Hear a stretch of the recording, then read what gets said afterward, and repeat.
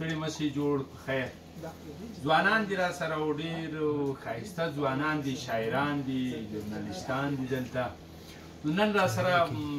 مولانا بسمیل در سره چې تاسو د غږ د شعر سره آشنای او روڅتی او رو او د نور شاعران هم را سره دي خو دینن وایي چې نن یو د مشاعره داسې بدلو چې شاعران صرف د شاعر شعر اوروي او په زړه باندې لویې تیږه ږدي دی څه نه وایي نو بسم الله ته غوږ کېږو مولانا صاحب ستړی مه شي جوړ په خیر زه به شروع کوم خو داسې نه سي بیخي مې تناب پرېږدي دا ملګري هو نه دې پرېږدي تناب دې ورکړي ارشاد اورو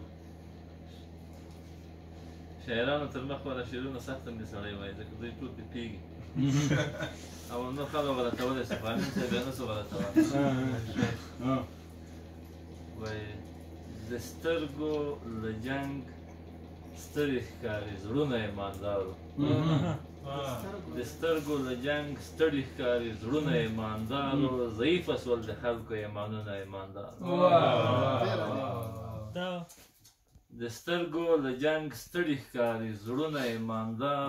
ضعیف سول د خلکو یې مانونه یې ماندار او د حسن په ارزښت باندې که چوپ په خلو شو پاتې د حسن په ارزښت باندې که چوپ په خلو شو پاتې نو خدای ته به بیا څه کړو جوابونه یې مانده دا یو ځل بیا ووایه دا یو ځل بیا ووایه د حسن په ارزښت باندې که چوپه خوله شو پاتې نو خدای ته به بیا څه کړو جوابونه ایماندار او په خلکو د ښادۍ او د خندا چنده تقسیم کړي چنده د خوشحالۍ او د خندا خلکو ته ورکړي آباد کاندې د زړونو جماعتونه یې چنده د خوشحالۍ او د خندا خلکو ته ورکړي آباد کاندې د زړونو جماعتونه یې او دا ځکه په اسانه هر سړی ورته راوړي دا ځکه په اسانه هر سړی ورته راوړي د زړه د کور مې ټیټ د دیوالونه ایمان ډیر دا ځکه په اسانه هر سړی ورته راوړي د ټیټ د زړه د کور مې ټیټ د دیوالونه ایماندار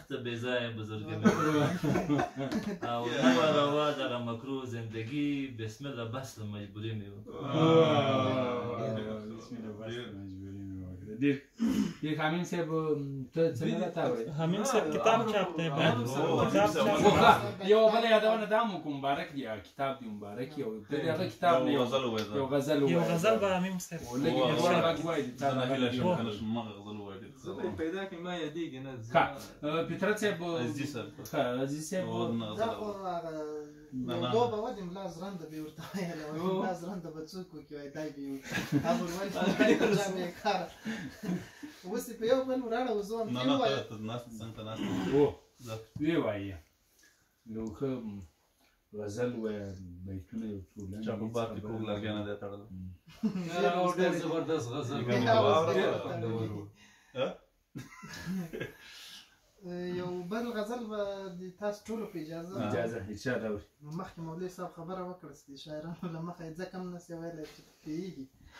در پوهېږي څو بیتونه دي وایي رخصت غواړي دوې لارې دي زړه نه اخلي ګام اخلي واه واه رخصت غواړي دوې لارې دې زړه نه اخلي ګام اخلي انسان د یو او بل په غېږ کې څومره آرام اخلي یو ته یې د بدۍ رشته دې هم را سره نشته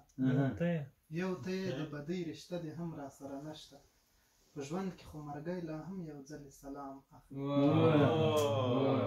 د سپین حسن اثر اخیر تویږي له لیمونه د سپین حسن اثر اخیر تویږي د لیمو نه د خټو په کور واوره اوري زیم به یې بام اخلي شاعر زړه د ښایست په مخ کې نیم نه پاته کیږي شاعر زړه شاعر زړه د ښایست په مخ کې نیم نه پاته کیږي سپوږمۍ د اختر جشن د خپل ځان په لیلام اخلي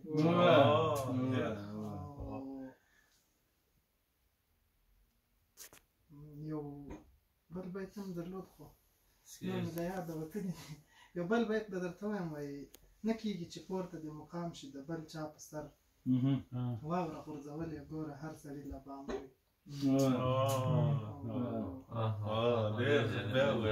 نه کېږي ستړی نه کېږي چې پورته دې مقام شي د بل چا په سر واوره غورځول یې ګوره هر سړي له بامه وي او ستوري وي سرمستې شېبې پیل له ماښامه وي خوند کوي چې مینه دې پخه وي نجلۍ خامه وي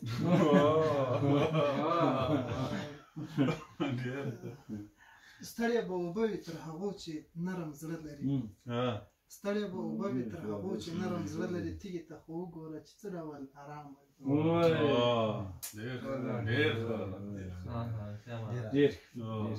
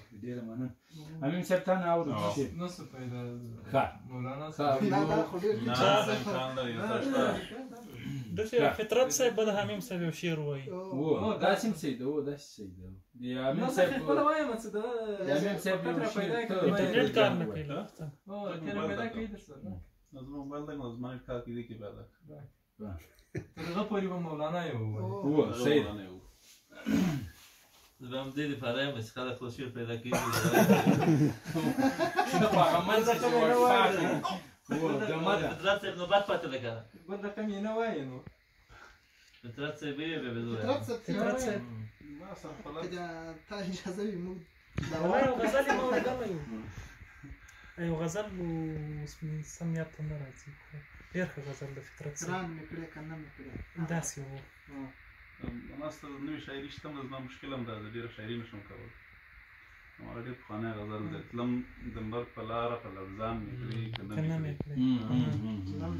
په لاره په لړزان مې کړې که نه مې کړې ژونده رښتیا وایه پښېمان مې کړې که نه مې کړې څنګه دې زما دیدن کاوه او ستر دې هم ساته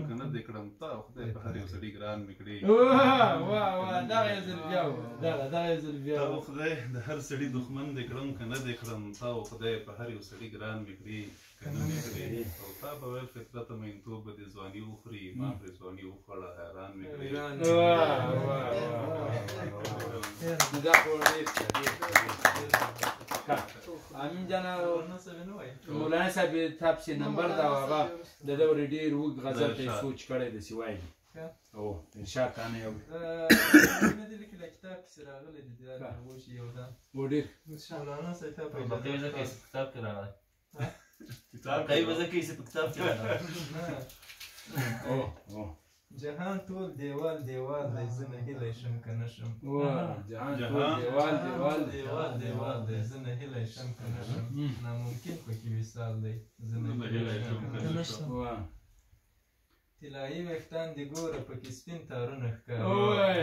طلایی ویښتان دی ګوره پکې سپین تارونه ښکاري نن مې پام شو دا څه حال دی طلایی ویښتان دی ګوره پکې سپین تارونه ښکاري نن مې پام شو دا څه حال دی زه نه هیلی شم که نه شم د راتلو وعده دې راکړه خو لهجه دې وبدله د راتلو وعده دې راکړه خو لهجه دې وبدله اوس مې ذهن کې دا سوال دی زه نه هیلی شم ضرورت هر وخت اول وې عشق دویم په دې وطن کې ضرورت هر وخت اول عشق دی په دې وطن کې دا زموږ ژوند دی مثال دی زنه واه واه واه دا یې زم بیا وایي ضرورت هر وخت اول عشق دویم په دې وطن کې دا زموږ ژوند دی مثال دی سمه هیله شم هغه سترګې چې پر سر یې زه له ټولې دنیا تیر شوم هغه سترګې چې پر سر یې زه له ټولې دنیا تیر شوم اوس د بل د کور مشال دی